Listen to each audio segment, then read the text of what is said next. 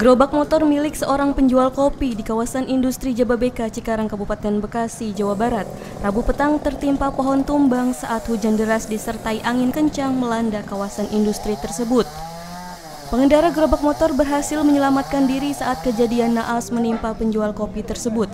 Sang penjual kopi menderita luka-luka dan dilarikan ke rumah sakit terdekat. Selain itu, satu unit mobil yang sedang melintas juga tertimpa pohon tumbang hingga mengalami kerusakan pada bagian depan. Beruntung sang pengendara selamat hanya mengalami luka-luka terkena pecahan kaca spion.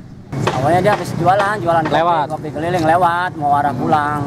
Hmm, terus tiba-tiba pohon Ya tiba-tiba kan pas ada hujan, hujan deras, terus kena angin. korban, korban gimana bang kondisinya bang? Korbannya cuma luka dikit sih tangan, tangan, Tangan. yang ini kena kaca. posisi lagi lewat mau pulang habis ngirim Mhm. ya itu pohon langsung roboh itu sekaligus roboh ya sekaligus saya juga nggak tahu nggak nggak ada langsung sekaligus aja itu pas angin gede Yang posisi yang ketimpa apanya bang? tertimpa semua ini Pasca kejadian, regu penyelamat dari Badan Penanggulangan Bencana Daerah Kabupaten Bekasi diterjunkan untuk mengevakuasi sejumlah kendaraan yang rusak tertimpa pohon. Petugas menggunakan gergaji mesin untuk memotong batang pohon yang menimpa kendaraan. Akibat kejadian ini, arus lalu lintas menuju lokasi pohon tumbang dialihkan. Agustian, Badar TV, Bekasi.